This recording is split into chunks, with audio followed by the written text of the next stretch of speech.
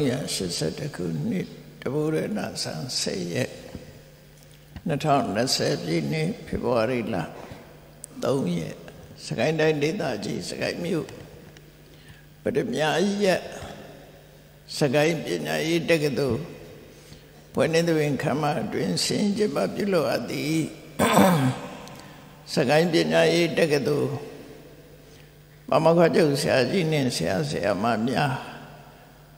ကျောင်းသူကျောင်းသားများဤဩဝါဒခံယူဝဲမင်္ဂလာအခမ်းအနား၌ဟောကြားအပ်သောလူသားတို့အတွက်မျက်နှုတ်ဘက်အကောင်းဆုံးယရနာအကြောင်းတရားဒေသနာတော့ဘုန်းကြီးတို့တွေလူဘဝရလာတဲ့အခါမှာ လူဘဝမှာအကောင်းဆုံးဟာပါလဲလို့အမှတ်တမဲ့မနေပဲနဲ့စဉ်းစားကြည့်တဲ့နဲ့လူဘဝမှာအကောင်းဆုံးဆိုတဲ့နေရာမှာဒီမေကုန်းမေးပြီးတော့လူတိုင်းလူတိုင်းရဲ့ဆိုပါစို့လူတသိန်းရဲ့အဖြေကို research လုပ်ကြည့်မယ်ဆိုရင်တော့ ဘာတွေထွက်လာမလဲလူသားတွေအတွက်မျက်နှာဘွယ်အကောင်းဆုံးအရာလို့အဖြေတွေကတော့အမျိုးစုံထွက်လာမယ်လို့ထင်ပါတယ်ဖြေတာဘာကြောင့်လို့ဆိုရင်ကိုကြိုက်တာကိုဖြေကြမှာနော်ကိုကြိုက်တာကိုဖြေကြမှာဆိုတော့အကောင်းဆုံးကဘာလဲလို့ဆိုရင်ဝက်သားကြိုက်တဲ့လူကဝက်သားများဖြေမလားမသိဘူး မျိုးစုံဖြေကြမှာပဲရှရဏပစ္စည်းကိုလိုချင်တဲ့အရာတွေကိုထောက်ပြောကြမှာဖြစ်တယ်သို့တော့စံတစ်ခုသတ်မှတ်ပေးမယ်ဆိုရင်တော့အဖြေတွေဟာအဲ့ဒီစံရဲ့ဖောင်းတွင်းရောက်လာမယ်ဆိုရင်တော့မှတ်ကန်နဲ့အဖြေတစ်ခုရလာဖို့ရှိပါတယ်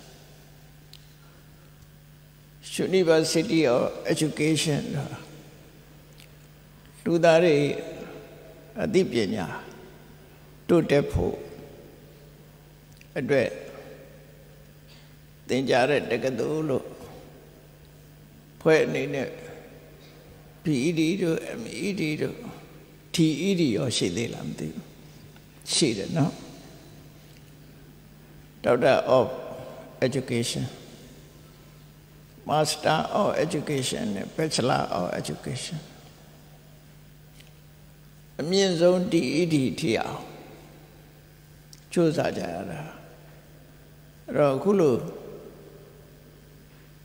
တက္ကသိုလ်ကြီးတွေတီထောင်တာဘာအတွက်တုံးတမန်လူတွေလိုလိုချင်တဲ့အသုံးဆောင်ပစ္စည်းတွေလူတွေလိုချင်တဲ့ဂုဏ်သိက္ခာတွေ အလုံးတွက်လိုက်မယ်ဆိုရင်လောကမှာလူတွေလူချင်တဲ့အရာတွေကအများကြီးပဲရှိတယ်တုံးနဲ့တူဆက်ဆံရေးကြတော့ရှာတုကုံသိမ်းစည်းစိမ်ဥစ္စာတွေဟာလူတွေအတွက်လူချင်းစရာတွေပဲအသုံးဆောင်ပစ္စည်းတွေဆိုတာလေလူချင်းစရာတွေချည်းပဲအဲ့ဒီလူချင်းစရာတွေဟာလူတွေရဲ့ပြန်လို့ဝယ်အကောင်းဆုံးအရာလားလို့ ပြောမယ်ဆိုရင်ထောက်ခံဖြေဆိုတဲ့ပုဂ္ဂိုလ်လည်းအရေးအတွက်အဖြစ်များလိမ့်မယ်လို့ထင်တယ်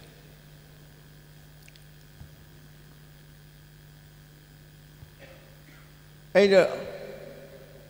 စံတစ်ခုသတ်မှတ်ပေးလိုက်မယ်ဆိုရင်ကိုယ့်ဘဝကိုထိန်းချောင်းပြီးတော့လူကုန်သိက္ခာအပြည့်အဝနဲ့ဒီဘဝမှာလည်းကောင်းတော့ဘဝမှာလည်းကောင်း ဘဝလမ်းကြောင်းကိုမတိမ်ဆောင်အောင်ထိန်းချောင်းနိုင်တဲ့ရှည်ရှည်ကြည့်ပြီးတော့ဆုံးဖြတ်လိုက်မယ်ဆို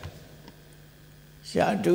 ဂုံသိမ်းစီးစိမ်ဥစ္စာဆိုတဲ့အရာတစ်ခုဟာအတိုင်းတာတစ်ခုအလွန်တိုးတယ်ပေါ့ရှာတုဆိုတာလေတိုးတောင်းတဲ့အချိန်ပိုင်းလေးမှာပဲဖြစ်တယ်စီးစိမ်ဥစ္စာဆိုတာလေ ဘလောက်ပဲချမ်းသာချမ်းသာမျက်စိလေးနှလုံးမမိတ်ခင်ဒီဘဝမကုံဆုံးခင်နေတာပိုင်ဆိုင်ခွင့်ရှိတယ်မျက်စိနှလုံးမိတ်သွားတာနဲ့တပြိုင်နက်ပိုင်ဆိုင်ခွင့်မရှိတော့နော်မပိုင်ဆိုင်မကကိုယ်တော်မှာအိမ်မောကြာကြာထားမှာမဟုတ်ဘူး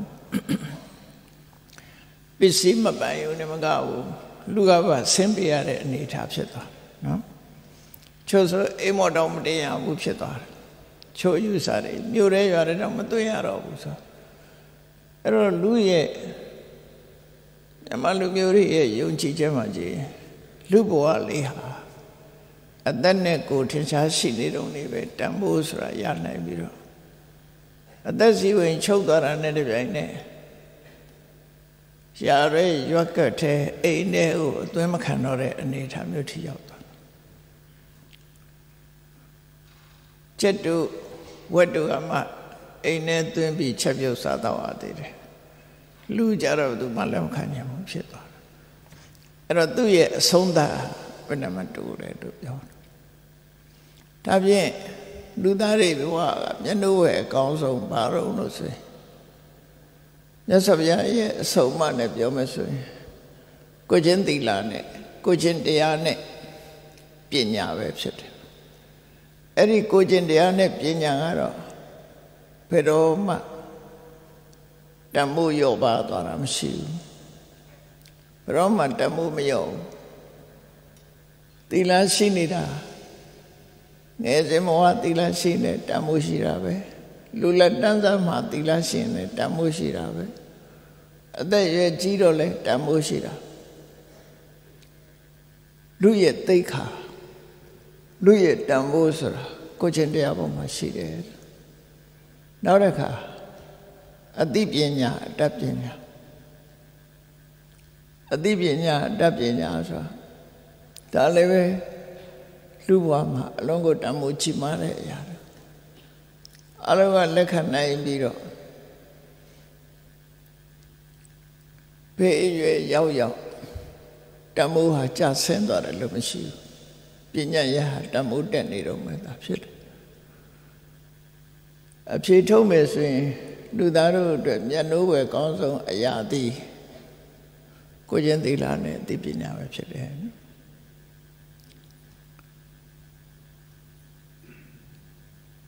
အလုံးခြုံငုံပြီးတော့ပညာရေးတက္ကသိုလ် University of Education တို့ဖွင့်တာ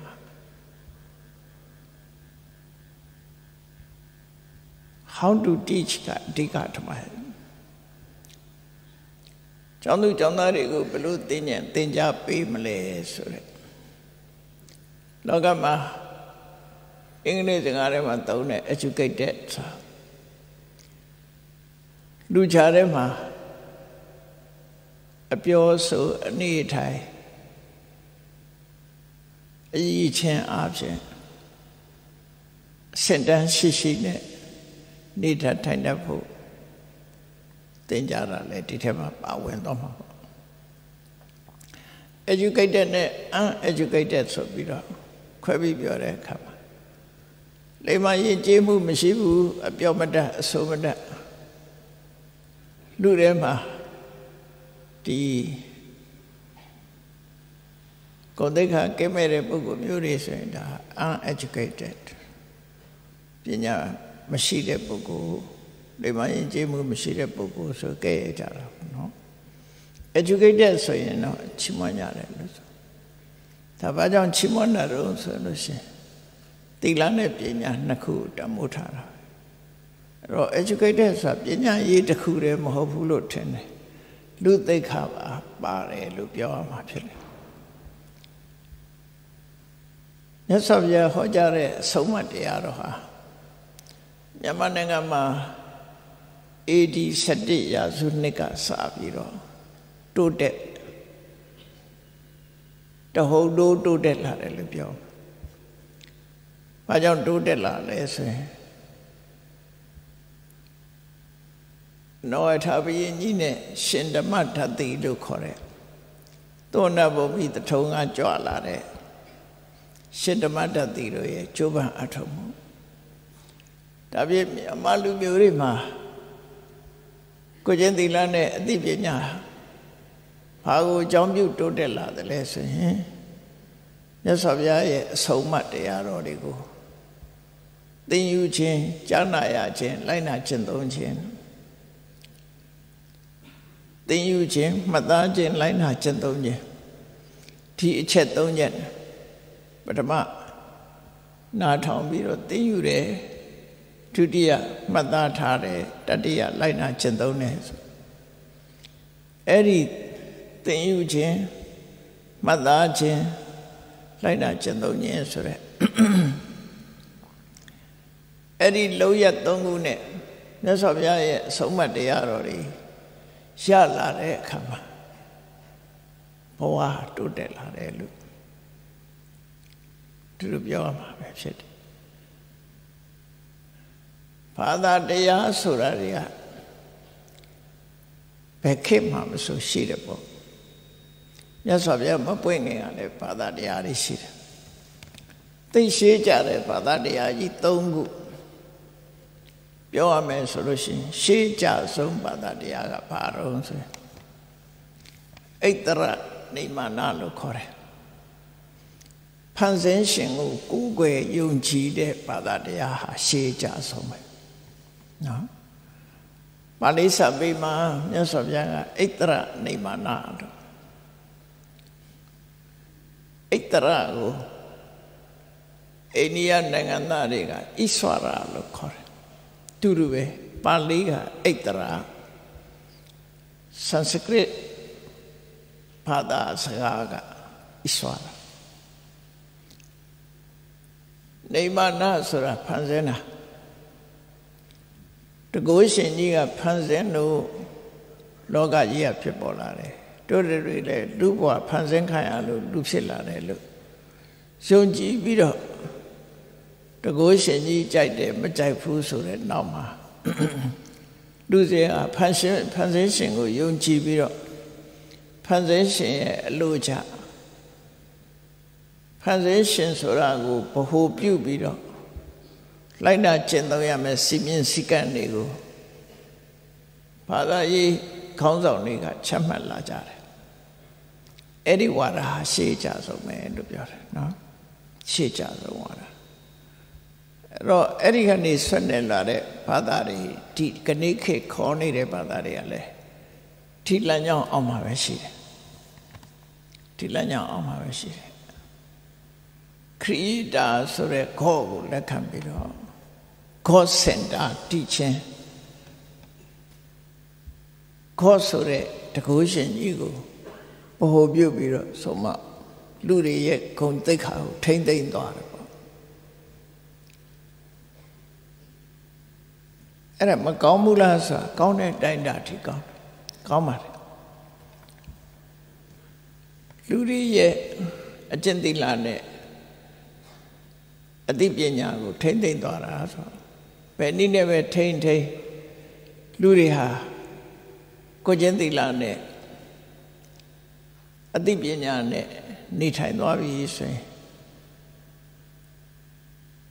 တာမန်တခြားတတ္တလောကကတိရစ္ဆာန်တွေနဲ့မတူပဲနဲ့လူတွေဟာဆင်းမြင့်တယ်လို့ပြောမှာဒါကဣတရနေမနဝါဒဆိုတဲ့ဘာသာတစ်ခုရဲ့လူလောကကြီးကိုထိန်းချောင်းမှုတစ်ခုပေါ့နော် နောက်တစ်ခုကတော့ဒီဣတရနေမနလို့ဆိုရဲ creation creator god ကိုညင်းပယ်ပြီးတော့လောကလူတွေဟာကြိုတင်သတ်မှတ်ချက်အတိတ်ကကိုလှုပ်တာတခုတည်းပေါ်မှာမူတည်ပြီးတော့ဖြစ်တယ်လို့ရှုစားတဲ့ပုဗ္ဗေကတာဟေတုဝါရဆိုတဲ့ဘာသာတရားလည်းရှိတယ်ဒါဒုတိယပေါ်ပေါက်လာတဲ့အရာတစ်ခုပေါ့ ဖန်ဆင်းရှင်ဖန်ဆင်းလို့မဟုတ်ဘူးချွတ်တင်ပြီးတော့သတ်မှတ်ထားတဲ့အတိုင်းဒုတိယဖြစ်ရတယ်လို့အဲ့ဒီဘာသာဝါရအရာကြတော့သူကလူတွေဟာလူဖြစ်တာလဲကျွတ်တင်ပြီးတော့တတ်မှတ်ချက်အတိုင်းဖြစ်တယ်။နွားဖြစ်တာလဲကျွတ်တင်ပြီးတော့တတ်မှတ်ချက်အတိုင်းဖြစ်တယ်။လူဘဝမှာလည်းပဲ မျက်စိနဲ့ကွင်းအလင်းမရဘူးဆိုရင်လည်းကျွတ်တင်ပြီးတော့တတ်မှတ်ထားတဲ့အတိုင်းလက်မပါဘူးဆိုရင်လည်းချွတ်တင်ပြီးသတ်မှတ်တယ်ခုခေတ်ပြောတဲ့ autism တို့ဘာလို့ဆိုလဲချွတ်တင်သတ်မှတ်ထားတယ်လို့အဲ့တော့သူဟာပစ္စုပန်လူတွေရဲ့လောက်ရက်ကိုဘာမှအတိမမပြုဘဲနဲ့လုတ်ခဲ့ပြီးတဲ့အကြောင်းတရားတစ်ခုတည်းကိုလက်ခံတဲ့ဘာသာဝါဒဖြစ်သွားတယ်အဲ့ဒီဘာသာဝါဒအရာဘာဖြစ်တော့ဆို လူတွေဖို့တိုးတက်လမ်းပါတစ်ခုမှမရှိဘူး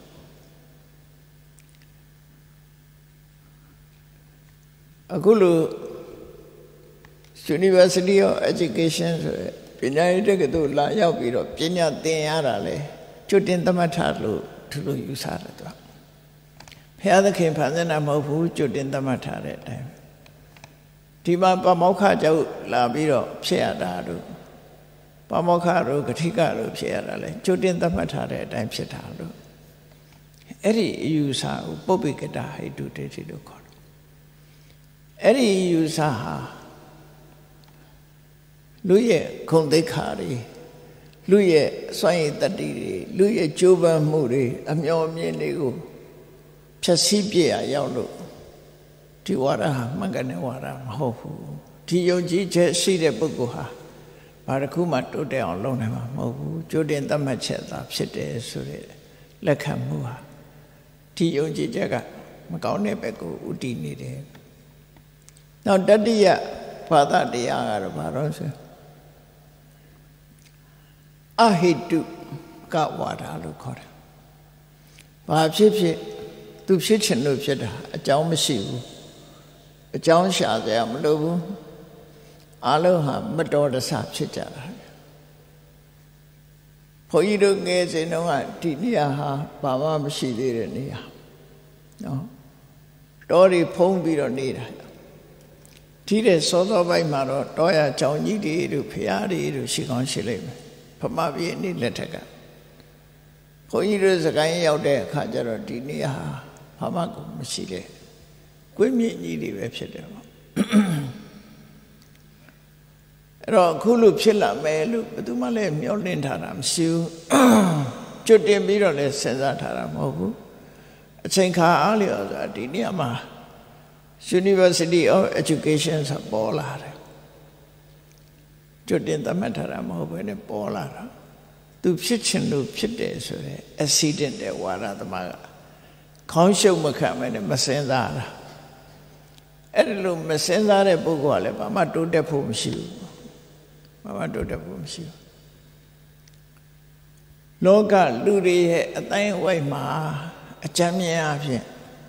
တကုရှင်ဖန်ဆင်းတဲ့ဘဝကျွတ်တင်သတ်မှတ်ထားတဲ့ဘဝဖြစ်ချင်လို့ဖြစ်လာတယ်ဆိုတဲ့ဘဝမျိုးမှာလူတွေရဲ့လှုပ်တင်တာနဲ့မလှုပ်တင်တာရွေးချယ်ဆန်းစစ်မှု မလှုပ်တင်တာကိုရှောင်ပြီးတော့လှုပ်တင်တာကိုလှုပ်မယ်ဆိုတဲ့အသိပညာကျိုးပန်းအထောက်မှုလုံလောက်ဝိရိယဆိုတာဒါတွေဟာဘာမှအသုံးမဝင်တော့တဲ့သဘောဖြစ်သွားတယ်ပေါ့လူဆိုတာကိုယ့်ရဲ့အသိပညာအမျောအမြင်လေးနဲ့ဒါကလုံးတဲ့နဲ့ဒါကမလုံးတဲ့ဘူးဒါပြောတဲ့နဲ့ဒါမပြောတဲ့ဘူးဆိုတာ လူသားတွေကိုယ်တိုင်အသိဉာဏ်နဲ့စဉ်းစားဆုံးဖြတ်နိုင်တဲ့အရာတွေသာဖြစ်တယ်ကျိုးပန်းအထုတ်ရင်ကျိုးပန်းအထုတ်သလောက်အထက်တန်းရောက်တယ်ဆိုတာလည်းလက်တွေ့ပြနိုင်တဲ့အရာပဲဖြစ်တယ်အဲ့တော့လူဆန္ဒလူရဲ့လုံလဝိရိယဒါတွေဟာခုနကဘာသာတရား၃ခုကိုညင်းပယ်လိုက်မယ်ဆိုရင် လူတွေဟာကိုယ်ဆန္ဒနဲ့ကိုကိုယ်လုံလဝိရိယနဲ့ကိုကိုယ့်ရဲ့ကြိုးပမ်းအထောက်မှုကိုယ့်ရဲ့ရွေးချယ်မှုတွေနဲ့ကြီးပွားတော်တက်လာနိုင်တယ်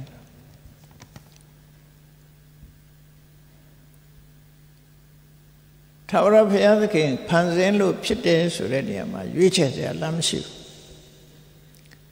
အတိတ်ဘဝကလှုပ်ခက်လို့ဆိုတဲ့ပုံမှာအခြေခံလို့ရှိရင်လည်းရွေးချယ်စရာလမ်းမရှိဘူး ပြီးခဲ့ပြီးသားတွေအကြောင်းမဲ့ accident ဖြစ်တယ်ဆိုရင်လည်းရွေးချယ်ဖို့လမ်းမရှိဘူးအဲ့တော့အဲ့ဒီလိုဘာသာဝါဒတွေရဲ့ခြားထဲမှာလူသားတွေဟာတိုးတက်ဖို့မတမရှားပါသွားတယ်ခက်ခဲသွားတယ်လူတွေဟာအညွန့်တုံးသွားနိုင်တယ်ပေါ့ဒါစဉ်းစားကြည့်လို့သိနိုင်တယ်ပေါ့နော်ညွန့်တုံးသွားတယ်ဘုရားမြတ်စွာပွင့်လာတဲ့အခါကျတော့ ဒီရှိနေနေတဲ့အယူဆတွေကိုမမှန်ကန်မှုဆိုတာကိုဖယ်ရှားပြစ်တယ်လူဆိုတာတဲ့ကရဏီယကရဏီယလှုပ်တဲ့နာနဲ့မလှုပ်တဲ့နာဆိုတာလူလောကမှာရှိရမှာဖြစ်တယ်ပညာရှိတွေကမိဘတွေကဆရာသမားတွေကကိုယ့်ရဲ့သားသမီးတပည့်နောက်လိုက်တွေကို ဆုံးမတဲ့အခါမှာဒါကမလုံသင့်ဘူးဒါကလှုပ်တဲ့နဲ့ဒီလိုပဲဆုံးမတာပဲဖြစ်တယ်ပေါ့အဲ့တော့လှုပ်တဲ့နာနဲ့မလှုပ်တဲ့နာဆိုတာနှစ်ခုရှိပြီးသားဖြစ်နေတယ်တဘာဝကောမလှုပ်တဲ့နာကိုရှောင်ဖို့လှုပ်တဲ့နာကိုလှုပ်ဖို့မလှုပ်တဲ့နာတွေလှုပ်နေသမျှဒုက္ခတွေ့ရမှာဖြစ်ပြီးလှုပ်တဲ့နာမလှုပ်သေးသမျှဘယ်တော့မှချမ်းသာဒုက္ခရမှာမဟုတ်ဘူးဆိုတဲ့အဲ့ဒီလမ်းညွှန်ချက်တွေဟာ မိကောင်းဖာကောင်းဆရာကောင်းသမားကောင်းမိတ်ဆွေကောင်းတို့ရဲ့လမ်းညွှန်ချက်တွေဖြစ်လို့လောကမှာချီးပွားတိုးတက်သွားတဲ့ပုဂ္ဂိုလ်တွေရှိတယ်အဲ့တော့လူသားတွေရဲ့အတိုင်းဝိုင်းမှာလှုပ်တဲ့နာနဲ့မလှုပ်တဲ့နာဆိုတာနှစ်ခုရှိတယ်အဲ့ဒီနှစ်ခုကိုရွေးချယ်ထားရမယ်ဒါလူသားတွေရဲ့ကိုယ်ပိုင်ရွေးချယ်မှုလို့ခေါ်တယ်အခုလိုပညာရေးတက္ကသိုလ်ဆိုတာတည်ထောင်ပြီးတော့ ဘဝမှာဘယ်လိုနေထိုင်ရမလဲဘယ်လိုကျင့်သုံးရမလဲဆိုတဲ့ပညာရက်တွေကိုသင်ကြားပေးတဲ့ပညာရေးတက္ကသိုလ်အဲ့ဒီပညာရေးတက္ကသိုလ်ကပညာသင်ပေးထားတဲ့ပုဂ္ဂိုလ်တွေကကြောက်ရိုင်းတုံးနဲ့အလားသရံတူတဲ့လူဘဝရောက်လာတဲ့ပုဂ္ဂိုလ်တွေကို ကြောက်သွေးပြီးအယောင်တင်ပေးတဲ့ဆရာသမားတွေအနေနဲ့ဖြစ်ပေါ်လာပြီးတမိုးတက်လာအောင်လုပ်ပေးနိုင်တယ်ဆိုတာလောကမှာထင်ရှားရှိတယ်ပေါ့ဒါကြောင့်လှုပ်တင်တာနဲ့မလှုပ်တင်တာလှုပ်ချင်တဲ့ဆန္ဒကြိုးပမ်းအထုတ်တဲ့ဝီရိယဆင်ញင်သုံးသပ်နိုင်တဲ့အတိပညာဆိုတာလူသားတွေရဲ့ပွေးရပါအခွင့်အရေးမြတ်တာဖြစ်တယ် အဲ့ဒီလူသားတွေရဲ့မွေးရပါအခွင့်အရေးကိုတန်မိုးထားတာတော့ဗုဒ္ဓမြတ်စွာပဲဖြစ်တယ်ပေါ့အဲ့တော့မြတ်စွာဘုရားဟာဘုန်းကြီးတို့တွေကရုပ်ပုံနေနဲ့စေရီပထိုးတွေတဲပြီးတော့ကိုးကွယ်နေကြတာဟာဘာကြောင့်ကိုးကွယ်နေကြသလဲစဉ်းစားကြည့်ရမှာကကိုးကွယ်မှုဆိုတာ လူတွေရဲ့စိတ်အရသာဖြစ်လာတာမြတ်စွာဘုရားကသူဟောပြောတဲ့ဆုံးမဩဝါဒပေးတာကိုလက်တွေ့ကျင့်သုံးဖို့သာဟောတာဖြစ်တယ်ကိုးကွယ်ဖို့ဟောတာမဟုတ်ဘူးနော်ကိုးကွယ်ဖို့ဟောတာမဟုတ်ဘူးကိုးကွယ်တာကလူသားတွေဟာသူများကိုအာကိုးတဲ့စိတ်ကြီးမားကြတယ်မြန်မာနိုင်ငံမှာဘုရားဘာသာမရောက်ခင်ကတကိုးရှင်တွေနတ်ဖျားတွေ ဒါတွေကိုရှုံချီကိုးကွယ်ကြတာဟုတ်ရှုံချီကိုးကွယ်ကြတာကိုအားကိုကိုးတာအလွန်နေတယ်စဝဲတီးပြီဆိုရင်ဘေးရဆရာတွေစီသွားကြလိမ့်မယ်ကြည့်စဝဲဖြည့်ရင်ဘာလေးဆောင်းသွားဆိုတာလေးအနည်းဆုံးတော့လောက်ကြမှာနော်အဲ့တော့ကိုယ့်ပေါ်မှာကိုယ့်ရဲ့ယုံကြည်မှုဟာပြေဝမရှိဘူးဆိုတာထင်ရှားတယ်ကိုယ့်ကိုယုံကြည်မှုမရှိဘူး သိယုံကြည်မှုဘေးရဆရာကဒီနှစ်ကောင်းတယ်မကောင်းဘူးဒီနှစ်ဒီပဲနှလုံးရမယ်ဆိုလဲအကြောင်းသွားကြမှာကြည့်မကြခင်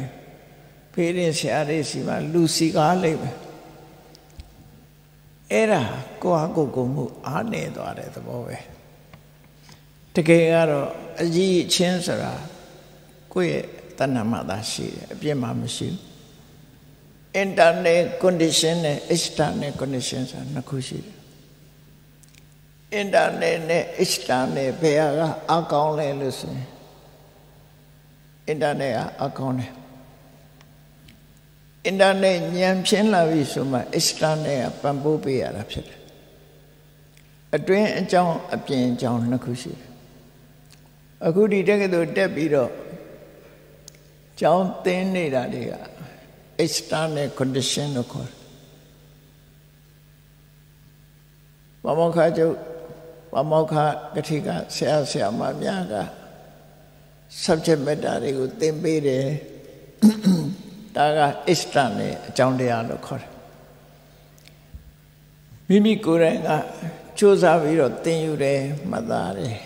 ကိုယ်သိဉာဏ်နဲ့ကိုယ်ဆုံးဖြတ်တယ်အဲ့ဒါက internet connection လို့ခေါ်တယ် အတွင်းအကြောင်းအပြင်အကြောင်းနှစ်ခုပေါင်းဆက်ပေါင်းဆက်လိုက်တဲ့အခါမှာအင်အားတစ်ခုဖြစ်လာအဲ့ဒီမဲ့အရေးကြီးဆုံးကအင်တာနက်ကပို့အရေးကြီးတယ်နော်နေ့စဉ်ဘဝမှာလည်းပဲကြည့်ဘဝမှာအသက်ရှင်နေတာတွေကိုစဉ်းစားကြည့်လိုက်တို့တွေဘာနဲ့အသက်ရှင်နေတာတော့လို့ဆိုအင်တာနက်အစ္စတာနဲ့နှစ်ခုပေါင်းပြီးတော့အသက်ရှင်နေတာ ပြင်ပကခန္ဓာကိုယ်ချမ်းသာစေတတ်တဲ့အစာတွေကိုစားရတယ်ဒါပြင်ပက external condition လို့ခေါ်တယ်သို့တော့ကိုယ်ခန္ဓာကိုယ်ထဲမှာရှိတဲ့အင်္ဂါရက်တွေ organ တွေကကျမ်းမတန်ဆွမ်းနေဖို့လိုတယ်ပေါ့ပြင်မဲ့ကစားတဲ့အစာလည်းပဲအာဟာရထပြေဝတယ်ခန္ဓာကိုယ်ရဲ့အတွင်းမှာရှိတဲ့ကလေးစားတွေ နှလုံးတို့ကြောက်ကတ်တို့အသေးတို့ဆိုပါစို့အစာကိုကျင့်ညက်ပြီးတော့ခန္ဓာကိုယ်အတွင်းမှာတန်ရှင်းသွားစေနိုင်တဲ့အင်္ဂါရက်တွေကလည်းကောင်းတယ်ဆိုလို့ရှိရင်ဒီလိုဟာကျမ်းမာတာပဲလေအင်တာနက်အစ္စတာနဲ့နှစ်ခုပေါင်းတာအပြည့်မဲ့ကဘလောက်ကောင်းတာတွေစားစားအသေးမကောင်းဘူးကြောက်ကမကောင်းဘူးတခြားဘာညာမကောင်းဘူးဆိုလို့ရှိရင်အမဖြစ်ပြန်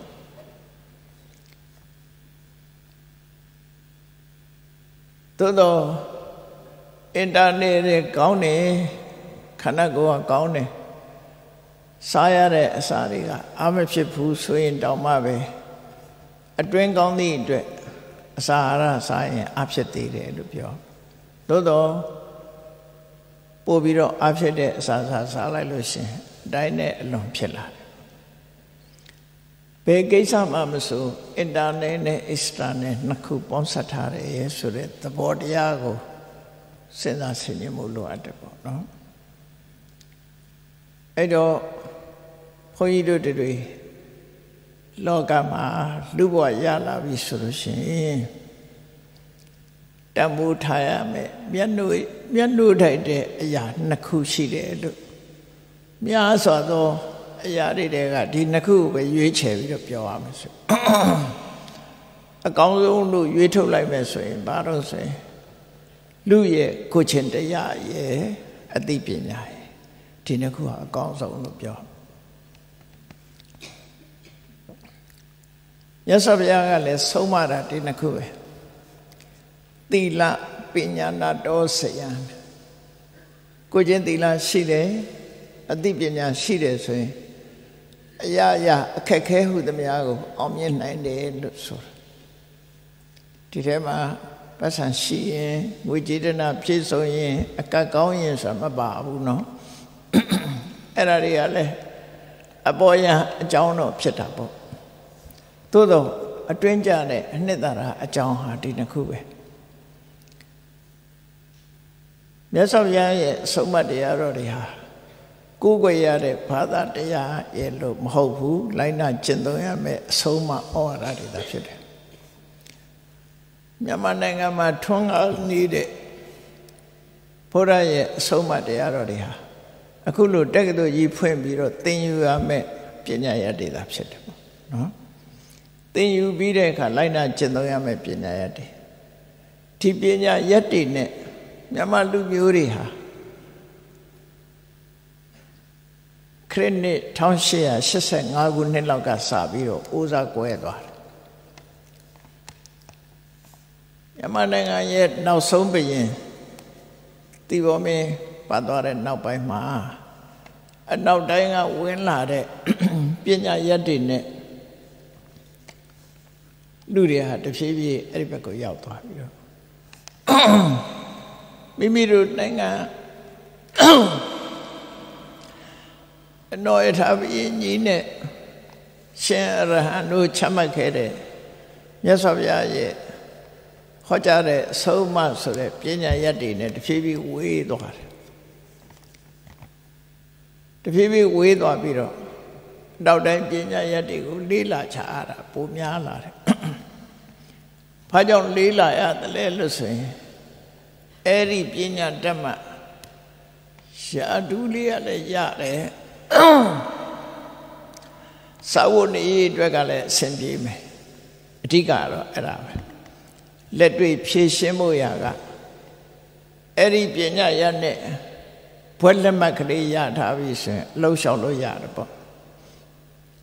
သာဝနေရေးကိုထောက်ကူပြုတဲ့ပညာရတည်းလို့ဆိုအဲ့တော့ဗုဒ္ဓဟောတဲ့အဆုံးအမတွေကသာဝနေရေးကိုတိုက်ရိုက် ခြေစူပြုတဲ့ခေတ်ဟာကုံဆုံးသွားတော့အဲ့ဒီမြတ်စွာဘုရားရဲ့အဆုံးအမတော်တွေဟာတော်တော်များများကြောပေးတာခံလိုက်ရတယ်လို့ဘယ်တော့ကစတော့ဆိုရင်1800နော်80 85လို့ပြောမှာပေါ့မြန်မာတက္ကရာနဲ့ပြောမယ်ဆိုရင်1248ခုနှစ် 1248ခုနှစ်ကနေစပြီးတော့ကြောပေးတာခံရရတယ်အဲ့ဒီကနေပြီးခဏိထီအောင်နောက်ကိုပြန်လှည့်လို့မရသေးဘူးခတ်ဆောင်းဆောင်းလေးတော့ဖြစ်လာနောက်တဲ့တဲ့ကိုပြန်မလှည့်နိုင်တော့ဘူးပေါ့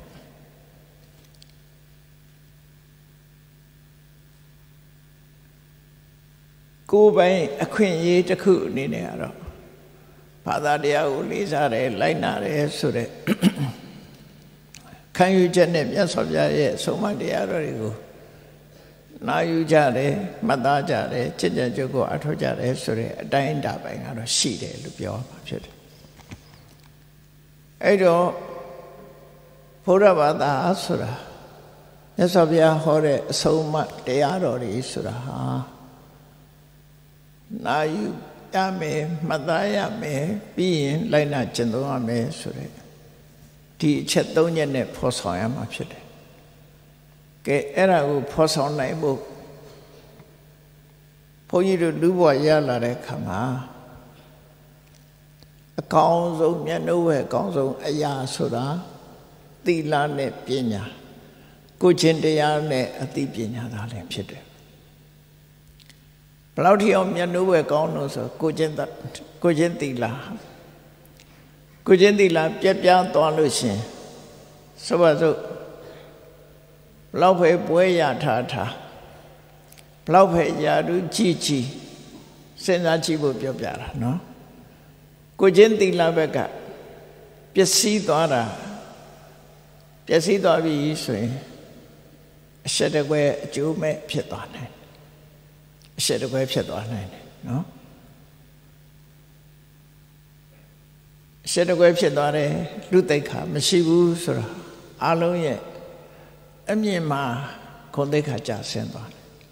ဒါကိုချင်းသီလကဘလောက်ဂုဏ်သိက္ခာတင်ပေးထားတယ်ဆိုတာစဉ်းစားကြည့်ကိုချင်းသီလပြက်ပြန်းသွားတဲ့ပုဂ္ဂိုလ်တယောက်ဟာဘလောက်ပဲပက်ဆန်ချမ်းသာချမ်းသာဘလောက်ပဲယာရုကြီးကြီးကိုချင်းတရားပြက်ပြသွားပြီဆိုရင် လူသိက္ခာကင်းမဲ့သွားတဲ့ပုဂ္ဂိုလ်ဖြစ်အလုံးကတမှုမထားတော့တဲ့ပုဂ္ဂိုလ်ယွန်ရှာတဲ့ယွန်ရှာတိုက်တဲ့ပုဂ္ဂိုလ်ဖြစ်သွားတယ်ကိုချင်းသီလမရှိရှိတော့ကလည်းထီလူပဲကိုချင်းသီလမရှိတော့လည်းထီလူပဲအဲ့တော့သူ့ကိုဘာကြောင့်လေးစားတာတော့ဆိုကိုချင်းသီလကြောင့်လေးစားတာဆိုထင်ရှားတယ်ပေါ့နော်ကိုချင်းသီလမရှိလို့ အပုတ်ချခံလိုက်ရပြီခုခေတ်ဆိုပို့ဆိုးတာပေါ့နော်ဖော်ထုတ်ခံလိုက်ရပြီဆိုရင်သူ့ရဲ့ကိုယ်သိက္ခာတွေကျဆင်းသွားကိုယ်သိက္ခာတွေပြက်ပြားသွားတယ်အဲ့တော့ကိုချင်းသီလရဲ့တန်ဖိုးဟာဒီဘဝမှာပဲအလုံးကိုအရေးကြီးတယ်လို့ပြောဒါကြောင့်မို့ဆရာဆရာမလောင်းနေအလုံးဟာနံပါတ်1ကိုကျင့်သီလနဲ့ပြည့်စုံတို့တွေစ조사အထောက်အမှာဖြစ်တယ် ဒါဖြင့်ကိုကျင့်သီလရှိအောင်မလုပ်ရကိုကျင့်သီလရှိအောင်လုပ်ရမယ်အချက်နှစ်ချက်ရှိတယ်ဘယ်ရာပဲဖြစ်ဖြစ်ပညာနဲ့ထိရမှာဖြစ်တယ်ကိုကျင့်သီလကောင်းဖို့အတွက်စဉ်းစားရမှာနှစ်ခုကိုချင်းသီလပြက်ပြားခြင်းရဲ့အပြစ်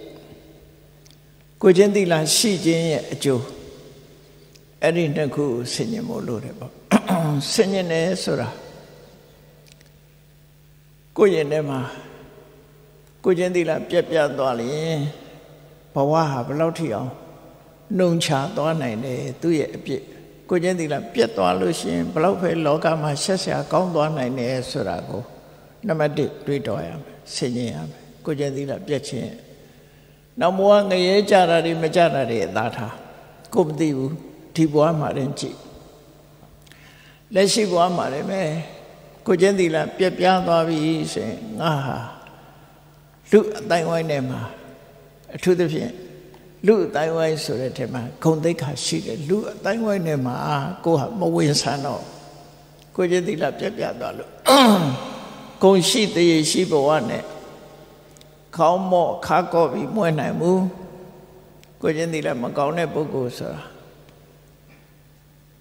အောက်တန်းနောက်တန်းရောက်သွားနိုင်တယ်ဒါကြောင့်မို့ကိုချင်းတည်လည်းမရှိခြင်းရဲ့အပြည့်ဟာဒီဘဝတည်းမဲ့တို့တွေလူရမကွေးတဲ့ဘဝမျိုးရောက်စေနိုင်တယ်နောက်အကျိုးကိုဆင်ញင်စဉ်းစားကြည့်လိုက်ကိုချင်းတည်လည်းရှိလို့ရှိရင်ဘယ်ပရိသတ်ထဲသွားသွားဘယ်အတိုင်းဝိုင်းနဲ့ဝင်းဝင်း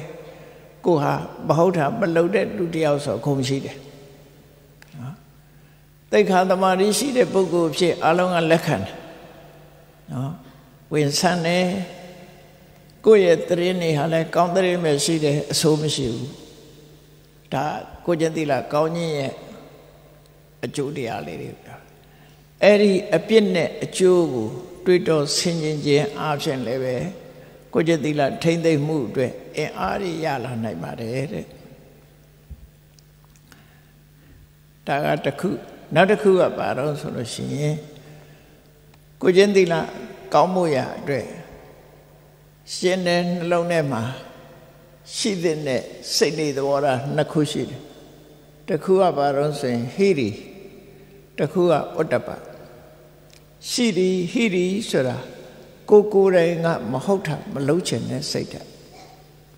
ကိုကိုယ်တိုင်ကလူသိသည်ဖြစ်စေမသိသည်ဖြစ်စေ မဟုတ်တဲ့လုံရက်ကိုမလုံးတဲ့အလုပ်တွေဆိုလို့ရှိရင်ယွန်ရှာတဲ့စိတ်ဓာတ်ရှိရ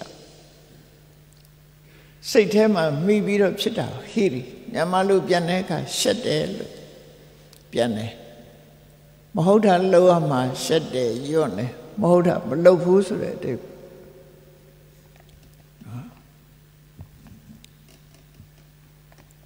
အင်္ဂလိပ်လို shame လို့ပြန်တယ်ပေါ့နော် အဲ့ဒါကရှက်တယ်ဆိုတာနှစ်ခုရှိတယ်လူကြတဲ့ထစကားမပြောရင်လည်းရှက်တတ်တယ်လို့ပြောကြပြန်ဒီနေရာမှာရှက်တယ်ဆိုတာဟာမဟုတ်တာလောက်အောင်မှရှက်တာကိုပြောတာအဲ့ဒီမဟုတ်တာမဟုတ်တဲ့အလုပ်ကိုဘယ်တော့မှမလုပ်ဘူးအဲ့ဒီဟိရိရဲ့ဥတ္တပဆိုတာပဝန်းကျင်ကိုလေးစားတယ်ရှုသေးတယ် ဥပမာကျောင်းသားတွေဆိုရင်ဆရာတွေကိုလေးစားတယ်ယူသေးတယ်ဆရာရှိမှဆိုရင်အပြောဆိုကစပြီးပို့ပြီးတော့ဆင်ញင်ကြတယ်အဲ့ဒါလိုပဲဥတ္တပရဲ့သဘောကကိုယ်ပဝန်းကျင်ကိုလေးစားတယ်ကိုမဟုတ်တာလုပ်ရင်ပဝန်းကျင်မှာဂုဏ်သိက္ခာကဲမဲ့လိမ့်မယ်ဆိုတာကိုသိပြီးတော့လေးစားတာပါဠိလိုတော့ဥတ္တပဆိုတာဒီ ဥတ္တပဆိုတဲ့စကားလုံးကိုအင်္ဂလိပ်ကတော့ fear လို့ပဲပြန်တယ်ပေါ့မော်ရဲ fear လို့ moral shapeness နဲ့ moral fearness ဒီနှစ်ခုပြန်တာအဲ့တော့ကိုจิตတရားနဲ့ပတ်သက်ပြီးတော့ရှက်တတ်သူကိုจิตတရားနဲ့ပတ်သက်ပြီးတော့ကြောက်တတ်သူအဲ့ဒီနှစ်ခုရှိလို့ရှိရင်ကိုจิตသီလပြည့်စုံတယ်လို့ လို့ဆိုလို့တယ် အဲ့တော့ကိုချင်းသီလကိုတိဆောက်မယ်ဆိုလို့ရှိရင်ဒီနှစ်ခုကိုအဓိကထားပြီးတော့တိဆောက်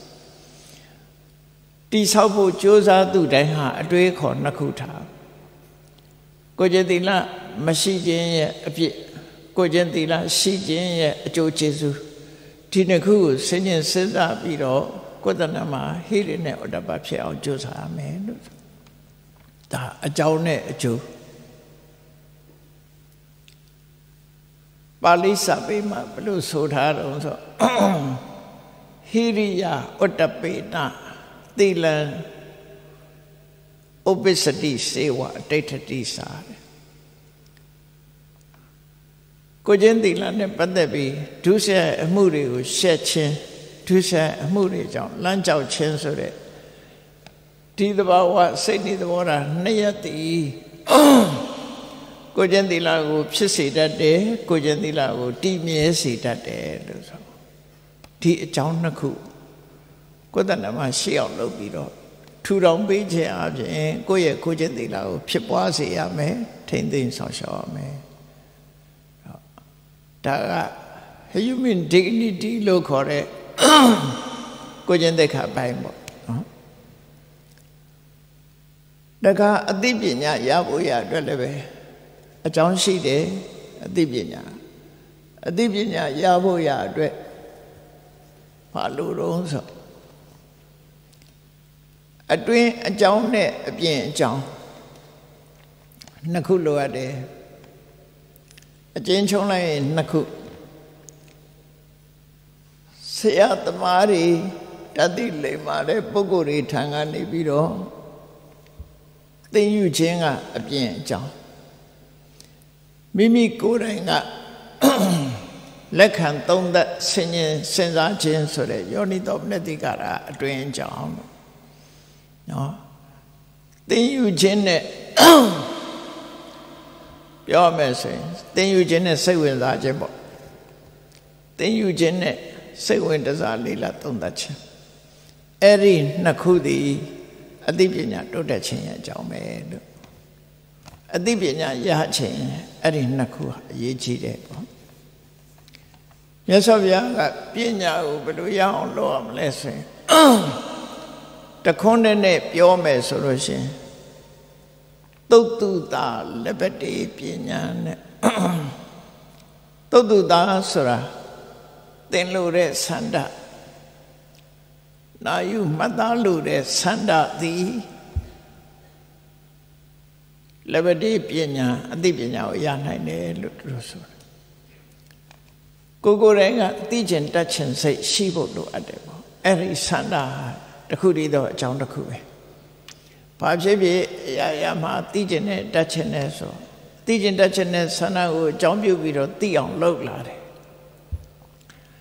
တော့ပြောမယ်ဆိုလို့ရှိရင်ပြောမယ်ဆိုလို့ရှိရင် လောကမှာအောင်မြင်ဖို့ရအကြောင်းက၄ခုရှိတယ်အပြင်မှာရှားတာမဟုတ်ဘူးကိုယ့်ရင်ထဲမှာရှိရ၄ခုကပါတော့ဆိုရင်သန္တာဝိရိယဝိမန္တစိတ်တဝိမတလို့အဋ္ဌိပတ်၄ပါးလို့ခေါ်တယ်အဋ္ဌိပါဒဆိုတာအောင်မြင်ခြင်းရဲ့အကြောင်းတရား means of accomplishment accomplishment အောင်မြင်ခြင်းရဲ့အကြောင်းတရား၄မျိုး means of accomplishment အဲ့ဒီအကြောင်းတရား၄မျိုးမှာနံပါတ်1ပညာရဖို့အတွက်သိကျင်တဲ့ဆန္ဒတတ်ချင်တဲ့ဆန္ဒနံပါတ်1နံပါတ်2ကဆန္ဒရှိတဲ့အတိုင်းကြိုးပမ်းအထောက်မှုလုံလဝိရိယအခက်အခဲတွေပေါ်မှာ ကြော်လွှားနိုင်တဲ့ကြံ့ခိုင်တဲ့စိတ်ဓာတ်နံပါတ်3ဆင်ញင်သုံးသတ်တဲ့အသိပညာဝိမန္တနံပါတ်4အဲ့ဒီလေးခုဟာအရာရာမှာအောင်မြင်နိုင်တဲ့အကြောင်းတရား၄မျိုးပဲဖြစ်တယ်အော်ဒါလည်းပဲ internet condition တွေပဲကိုယ့်ရင်ထဲမှာရှိရမယ့်အရာတွေပဲအဲ့ဒါတွေနဲ့ဖြည့်ရှင်းသွားရမယ်လို့ဆိုတော့ အဲ့ဒါကိုမြတ်စွာဘုရားဟောလိုက်တာသသုတ်တုတာလက်ပတိပညာအသိပညာရဖို့အတွက်ကသိချင်တတ်ချင်တဲ့ဆန္ဒဟာအဓိကကြတယ်သိချင်တတ်ချင်တဲ့ဆန္ဒပေါ်မှာအကြောင်းပြုပြီးတော့သိမှုတတ်မှုဖြစ်ပေါ်လာတယ်လို့ဒီလိုမြတ်စွာဘုရားဆုံးမခဲ့တာဆိုဘုန်းကြီးတို့တွေကိုယ်ဘဝပညာရဖို့အတွက် သိကျင်တဲ့ဆန္ဒတစ်ခုဟာနံပါတ်1အရေးကြီးဆုံးပဲဒါဖြင့်ဆန္ဒရှိနေုံနဲ့ပြီးလာဆိုမပြီးဘူးကြိုးစားရမယ်ကြိုးစားတဲ့အခါမှာလည်းအခက်ခဲဆိုတာမကြုံမှုမဟုတ်ဘူးကြုံလာမယ်ကြုံလာတဲ့အခါစိတ်ဓာတ်ကြံခိုင်မှုလိုအပ်တယ်နောက်တစ်ခုကအခက်ခဲကိုဘယ်လိုဖြေရှင်းရမလဲဆိုတဲ့ဒီလန်းကိုသိတဲ့အသိပညာဆိုတာလည်းအရေးကြီးတယ်တို့ အလုံးပေါင်းလိုက်တဲ့အခါဒီ၄ခုပဲဒါကြောင့်မို့ဒီ၄ခုဟာအင်မတန်မှအရေးကြီးတာမဟုတ်ဟိုကိုယ့်ရဲ့နဲ့နှလုံးထဲမှာအာပြော့နေသေးတယ်ဆိုရင်ကိုယ့်ကိုပြင်းပြီးတော့အာကောင်းအောင်လုပ်ပြီးတော့ရတယ်အသိပညာဆန္ဒကိုမြန်မာလူမျိုးတွေရဲ့စကားပုံထဲမှာလည်းရှိတယ် ဆန္ဒကြီးလင်ကြံသမျှပြီးတယ်ဆိုတာနော်အဲ့ဒီစကားလုံးကပါဠိစာပေကရတဲ့စကားလုံးပဲသန္တဝတ္တောကိဏမကမ္မနသိစတိပါဠိဆောင်ဘုကသန္တဝတ္တောကိဏမကမ္မနသိစတိဆန္ဒရှိတဲ့ပုဂ္ဂိုလ်ဆန္ဒပြင်းပြတဲ့ပုဂ္ဂိုလ်မှာ မအောင်မြင်တဲ့အလုပ်ဆိုတာမရှိဘူးလို့သူတို့ဆိုလို့တယ်နော်မအောင်မြင်တဲ့အလုပ်ဆိုတာမရှိပါဘူးအလုပ်အလုံးဟာအောင်မြင်ပါတယ်ဆန္ဒရှိရင်အလုံးဖြစ်ပါတယ်လို့သူတို့ပြောတဲ့တော့ဆန္ဒဝတ္တောဂိဏမကမ္မနာသိစတိအဲ့ဒါနဲ့အလျော်အင်္ဂလိပ်လိုဆောင်းပုံမှတ်ချင်ဆန္ဒ makes the impossible possible လို့မှတ်ရမှာ ဆန္ဒ makes the impossible possible ဆန္ဒဆိုတဲ့ရှင်တွေကစွမ်းအားရှိတဲ့အရာတစ်ခုဟာတဲ့မဖြစ်နိုင်ဘူးဆိုတာတွေကိုဖြစ်အောင်လုပ်နိုင်စွမ်းရှိတယ်ခေါင်းကိုယုံကြည်တဲ့ပုဂ္ဂိုလ်တွေကခေါင်းနဲ့ပတ်သက်ပြီးပြောတဲ့စကားရှိတယ် God makes the impossible possible သူတို့ဖရာသခင်ဒီမဖြစ်နိုင်တာတွေအလုံးကိုဖြစ်အောင်လုပ်နိုင်တယ်ပေါ့သူတို့ နော်ဘုရားဘာသာရေးကြတော့ဗာပြောမလို့ Sanda makes the impossible possible အဲ့လိုထို့တူပဲဝီရိယကလည်းဝီရိယဝတ္တောဂိဏမကမ္မနာသိစတိဝီရိယရှိတဲ့ပုဂ္ဂိုလ်ဟာမဖြစ်နိုင်တဲ့အလုပ်ဆိုတာမရှိဘူးစိတ်တဝတ္တောဂိဏမကမ္မနာသိစတိကြံခိုင်တဲ့ တိမတ်တည်ငြိမ်တဲ့စိတ်ဓာတ်ရှိတဲ့ပုဂ္ဂိုလ်ဟာလည်းပဲမဖြစ်နိုင်တဲ့အလုပ်ဆိုတာမရှိဘူးဝိမန္တဝတ္တောခိဏမခမနာသိစတိအသိပညာစဉ်းစားဉာဏ်ရှိတဲ့ပုဂ္ဂိုလ်တယောက်ဟာလည်းမအောင်မြင်တဲ့အရာဆိုတာမရှိဘူးလို့အဲ့ဒီကိုယ့်ရဲ့အရေးချင်းတွေကိုရှုံကြည်ပြီးတော့ဒီရည်ချင်းတွေကိုတိုးမြင့်ပြီးတော့ကြိုးစား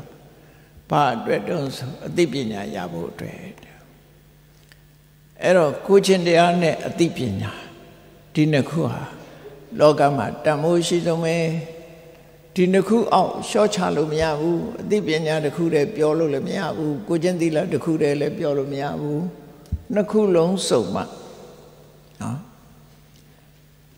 ကိုချင်းသီလတော့ရှိတယ်ပညာမရှိဘူးစွမ်းဆောင်မှုအားနေမယ်ပညာတော့ရှိတယ်ကိုချင်းသီလမရှိဘူးလူတော့လူကောင်းမဖြစ်ဘူး နော်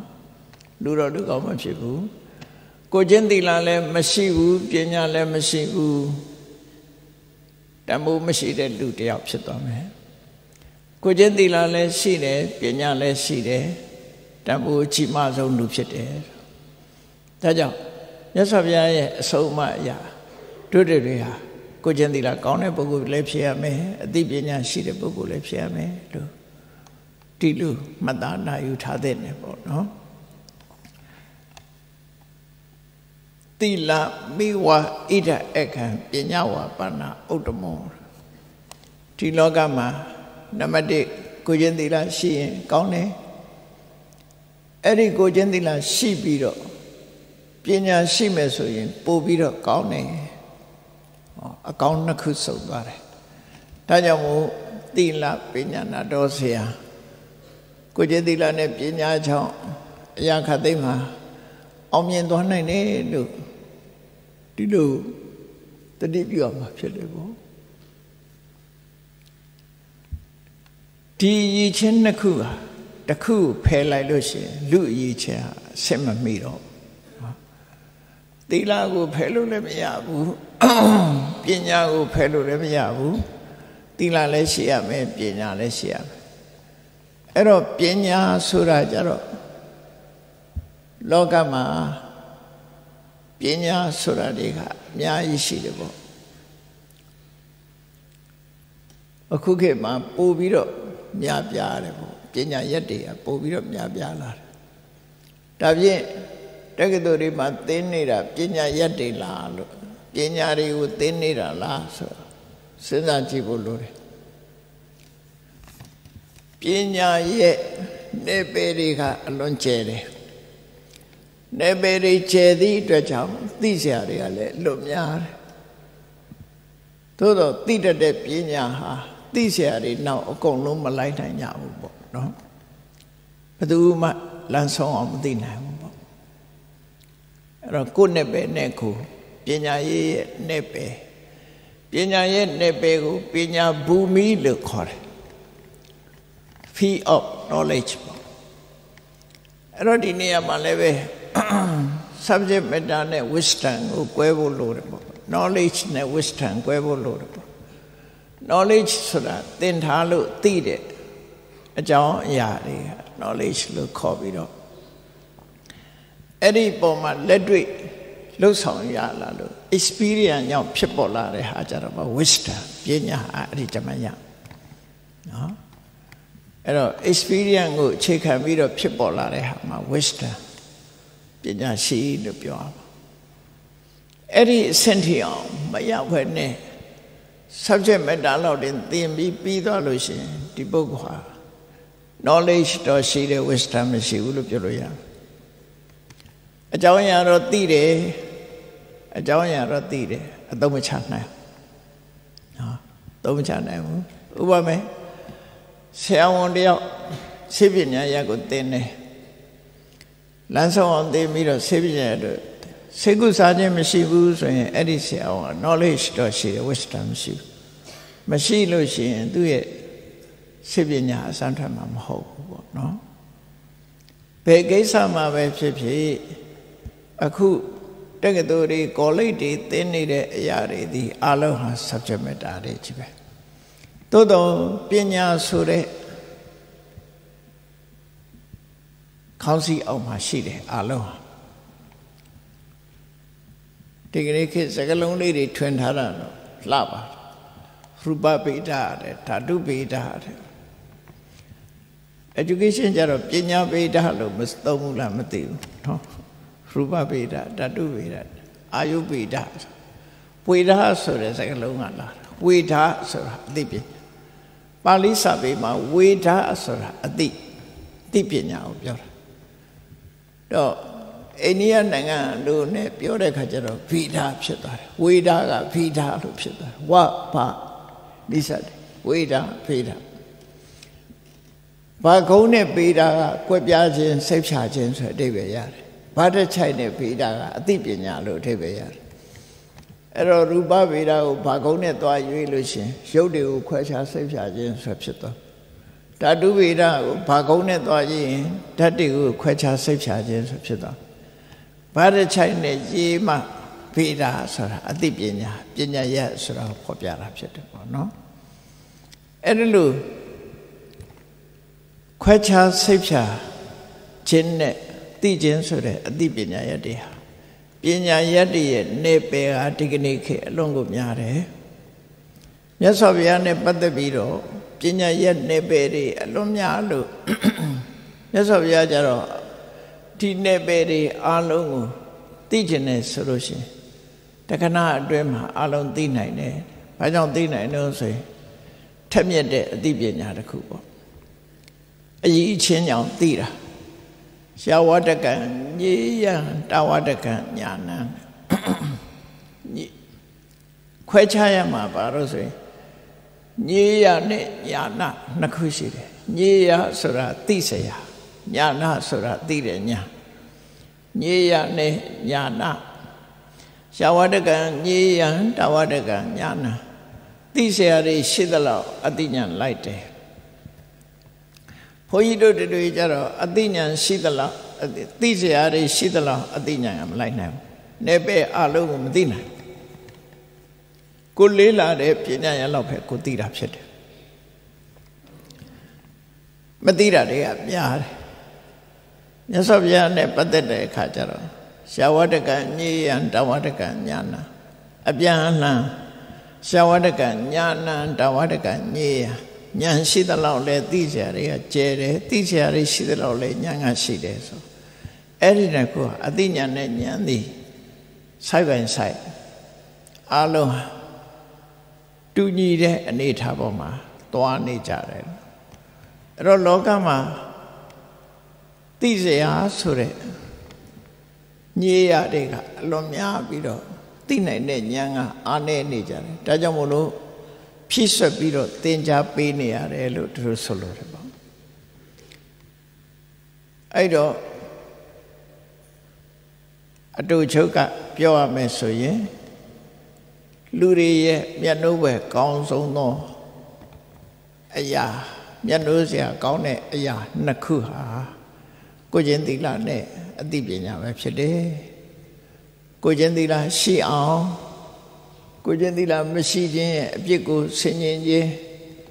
ကိုကျင့်သီလရှိခြင်းရဲ့အကျိုးကျေးဇူးကိုဆင်ញင်သုံးသပ်ခြင်းအပြင်အသိဉာဏ်ရှိတဲ့ပညာအသိကိုကျင့်တရားကောင်းတဲ့ပုဂ္ဂိုလ်ဖြစ်ကိုရယူနိုင်တယ်ကိုကျင့်တရားကောင်းမှုထိမ့်သိမ့်မှုအတွက်ကဟိရိဥတ္တပလို့ဆိုတဲ့ morality နဲ့ပတ်သက်တဲ့ရှက်ချင်းကြောက်ချင်းနဲ့ရှိဖို့လိုအပ်တယ်ဆိုတာ အသိပညာရှိဖို့ရအတွက်သိချင်တဲ့စိတ်နေသဘောထားတွေသိချင်တဲ့ဆန္ဒတွေသိအောင်ကြိုးစားတဲ့လုံလဝိရိယတွေခက်ခဲတဲ့အခါကြမ်းခိုင်တဲ့စိတ်ဓာတ်တွေနဲ့ဆင်ញင်သုံးသပ်နိုင်တဲ့ပညာစွမ်းအားတွေရှိအောင်လုပ်ရမှာဖြစ်တယ်ဆိုတာကိုနာယူမှတ်သားပြီးတော့ လူသားတွေရဲ့အရေးချင်းနှစ်ရက်ပြည့်စုံအောင်တတိဆောင်ပြီးတော့ကြိုးစားအားထုတ်နိုင်ကြပါစေကုန်တည်းဒုက္ခဒုက္ခ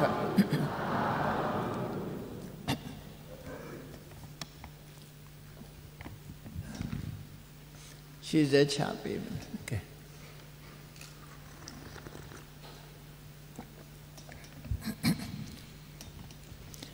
အလုံးလိုက်ဆိုကြမယ်အရှင်ဖေယဘုရားတို့တို့တို့သည်ကိုချင်းသီလနှင့်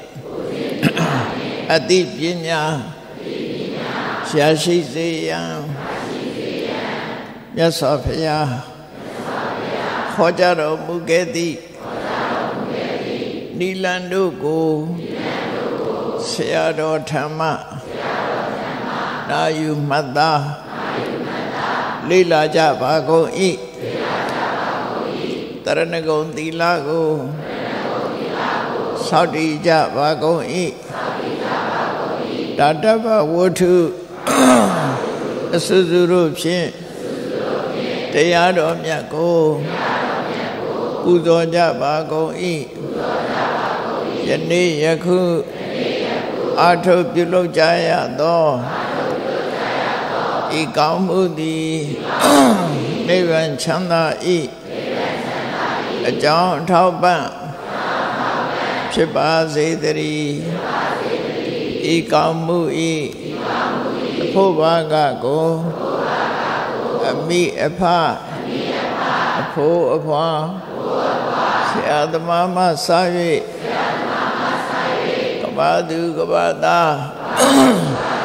လူနတ်မြမာ တတ္တဝအများတို့အားအမြအမြဝေငါပါကုန်၏အထူးအားဖြင့်ဤစကိုင်းပညာရေးတက္ကသိုလ်ဧရိယတွင်၌ရှိကြကုန်သောနတ်အပေါင်းပုဂ္ဂိုလ်ပေါင်းတို့အားကုသိုလ်အမြ ဝေငါပါကုန်၏30ဘုံရှင်ဤကုန်သောလုံးစုံများစွာတတ္တဝါတို့သည်ကုသိုလ်အမြကိုယ်သည်ရာကြကုန်သည်ဖြစ်ပေကိုယ်စိတ်နှဖျားချမ်းသာကြသည်ဖြစ်ကြပါစေကုန်သတည်း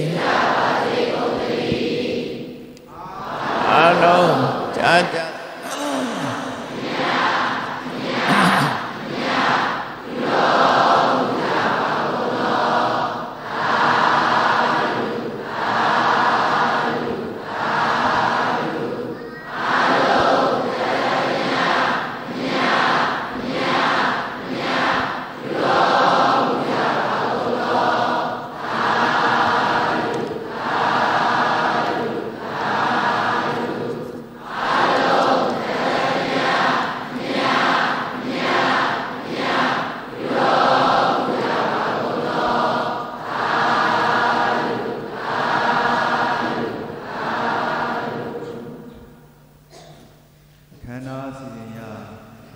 နေ့ခန္ဓာကိုဗုဒ္ဓသာသနာစိရန်တိတ်တုသုံးညင်ရွတ်ဆိုပြီးပြီးမြောက်ကြမှာဖြစ်ပါတယ်ဗျာသို့ဖြစ်ပါ၍ယေရှုရှင်ဆရာတော်ဘုရားကြီးနှင့်တကွာဘမောင်အကျုပ်အမှုရှိသောဆရာဆရာမများကျောင်းသူကျောင်းသားများနှင့်တရားနာပြည်သက်ပေါင်းသူတော်ကောင်းတို့ခမညာဒီနေ့ကျင်းပပြုလို့အသည့်အခမ်းအနားကိုဗုဒ္ဓသာသနာစိရန်တိတ်တုသုံးညင်ရွတ်ဆိုပြီး အောင်မြင်စွာပြီးမြောက်ကြမှာဖြစ်ပါတယ်ဖေဟာဘုဒ္ဓသာသနာစေရန်ဒိဋ္ဌတုဘုရားသာသနာစေရန်ဒိဋ္ဌတုဘုရားသာသနာစေရန်ဒိဋ္ဌတု